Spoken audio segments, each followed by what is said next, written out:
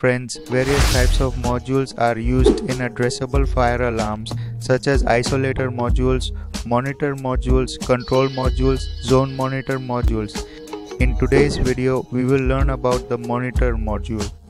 In this video, we will learn what a monitor module is, how it works, with an example. What its function is, in which applications it is used, how its wiring connection is done, and how it works. Let's start the video. Friends, sometimes the fire alarm monitor module is also known as the input module. The input module receives input signals from third-party devices which are non-addressable and sends signals to the fire alarm panel with an address. That means when third-party devices need to be connected to an addressable fire alarm panel and their pin location needs to be seen, the monitor module is used.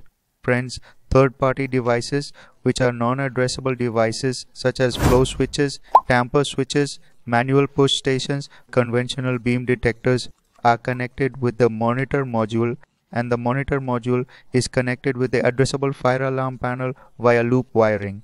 And this monitor module has a unique address. This means the monitor module monitors the status of third-party devices and reports to the fire alarm panel.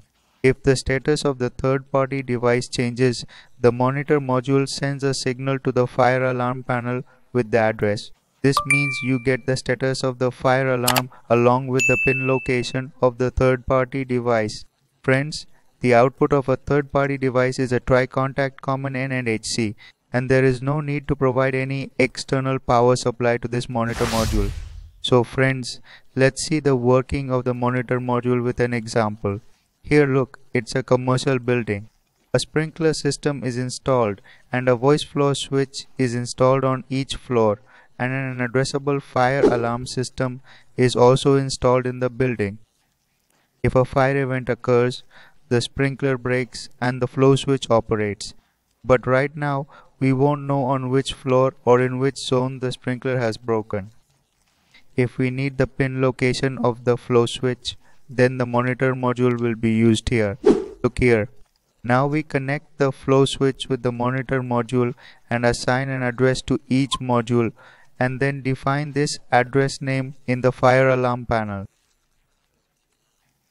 Currently each flow switch is in a normal condition if a fire event occurs, the sprinkler breaks and the zone's flow switch operates.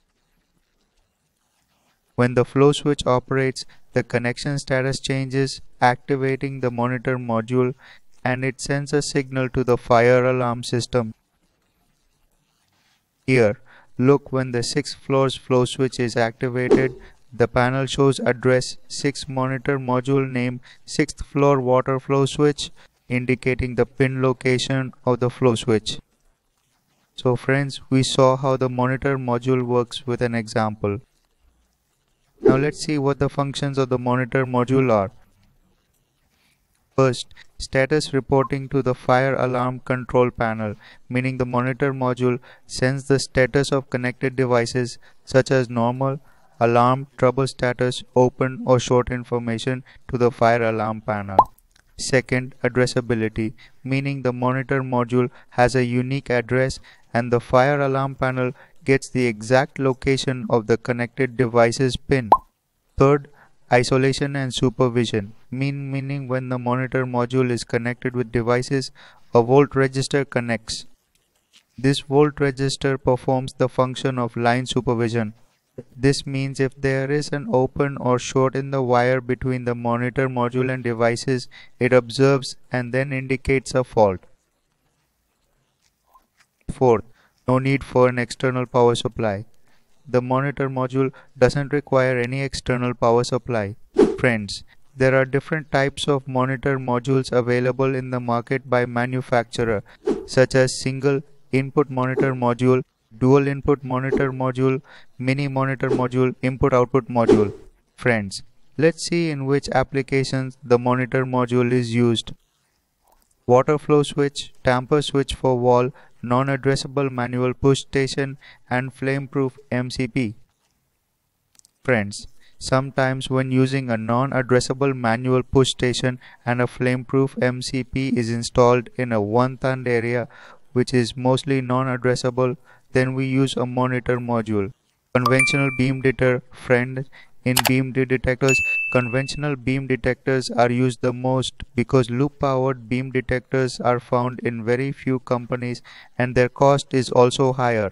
When you need to connect a conventional beam detector to an addressable fire alarm, then a monitor module is used. Emergency door contact friends. If an emergency door is opened, then we need their alert or indication on the fire alarm panel. Then we use the monitor module. LHS cable linear heat sensor cable. Friends, if we connect the LHS cable with an addressable fire alarm panel using the monitor module, Sometimes an LHS controller is also used in the LHS cable. Then we connect it with the fire relay to the monitor module and connect it to the addressable fire alarm panel. Integration with conventional fire alarm panel, gas release panel and waste system. Friends, sometimes we need the fire signal of an individual conventional firing panel or gas release panel in an addressable fire panel.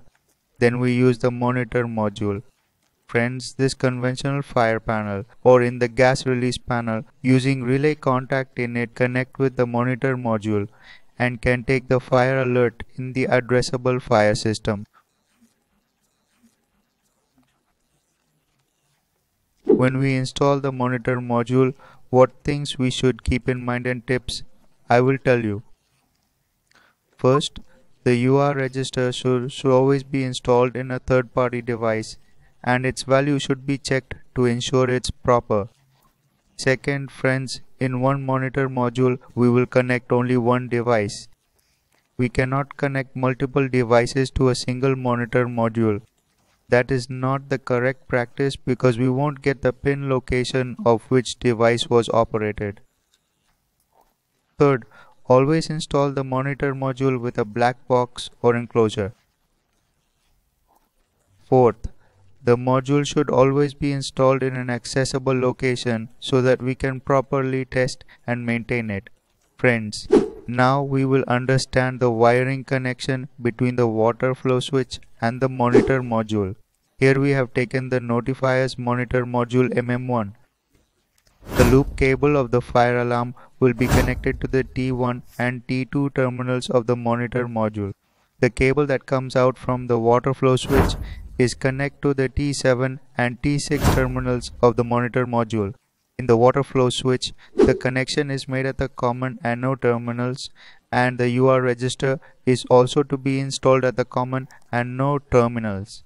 The value of the EOL resistor is defined by the manufacturer and here the value we have is 7k ohms. This EOL resistor should always be installed in the terminal of the device.